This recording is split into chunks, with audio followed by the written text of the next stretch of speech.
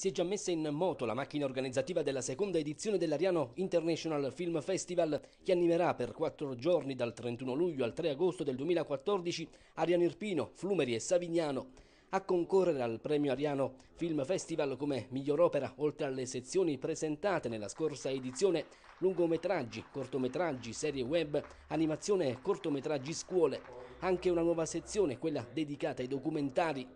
La presentazione della manifestazione del 2014 è avvenuta nel corso di una conferenza stampa presso l'auditorium comunale alla quale hanno partecipato, oltre all'attore Franco Pini in qualità di presidente della giuria, anche Angelo Bassi, Lucia Di Spirito, redattrice della testata giornalistica TV Sorrisi e Canzoni e ovviamente la regista renese Annarita Cocca.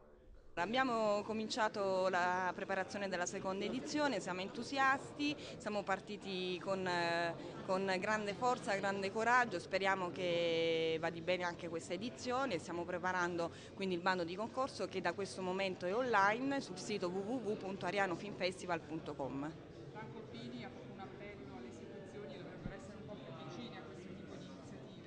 Ci auguriamo che le istituzioni sì, siano vicine, che anche come quest'anno, l'anno prossimo ci saranno i vari comuni, tra cui Flumeri e Savignano e anche altri comuni. Noi estendiamo comunque l'invito a tutti quanti a sostenere questo festival e quindi a ingrandire questa manifestazione verso tutti i comuni limitrofi, non solo ad Ariano. Ci lavoriamo un po' anche sulla parte artistica, adesso abbiamo lavorato molto sul, sul sito, sul bando di concorso, quindi adesso spingiamo molto il bando per far arrivare le opere. E nella mia ormai insomma, lunga carriera non mi era mai capitato di,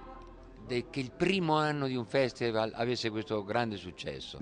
soprattutto di pubblico, di, di presenze e di qualità del materiale inviato, delle, dei corti, dei film, delle serie web e, e può esserci un grande futuro. Qui il problema è che le istituzioni devono dare una mano ai privati e agli sponsor perché questa famiglia, eh, Anna Rita Cocca e tutta la sua famiglia si stanno facendo veramente un mazzo tanto e meritano, meritano un aiuto più, più, concreto perché non si tratta della, della solita sagra, anche se le sagre sono benvenute, per carità, anzi sono il sale della cultura di un paese, però qui si tratta di un progetto che ha delle ambizioni, un progetto che vuole arrivare a, ad ampliarsi ai paesi vicini, a creare proprio un, una, un, una, località, un, una roccaforte in Irpinia in cui si parli di cinema, di corto, di tutto quello che può dare spazio ai giovani, perché i giovani sono i più interessati a questo. Adesso si presenta la seconda edizione, qualche anticipazione, sappiamo che in genere non si fa, però una, qualche piccola curiosità. Posso dire che l'anno scorso c'è stata praticamente una, una sola serata, e addirittura date le, già le, le, previsioni di affluenza, credo che le serate saranno tre o addirittura quattro, quindi già il festival ha fatto e fa un grosso balzo in avanti come, eh, come, come lunghezza delle, delle serate in questione.